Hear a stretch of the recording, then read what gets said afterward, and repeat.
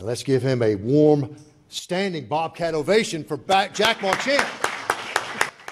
Georgia College has hired Jack Marchant as its fifth head coach of the women's soccer program.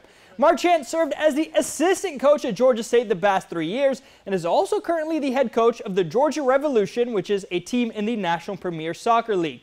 Here's what Marchant had to say on this opportunity.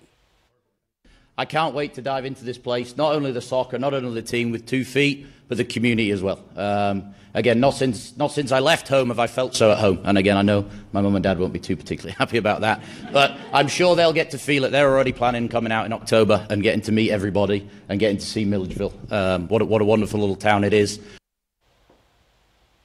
You can probably tell by his accent, but Coach Marchant is from England and he moved to the United States in 2008, so lucky for him to finally find a home away from home.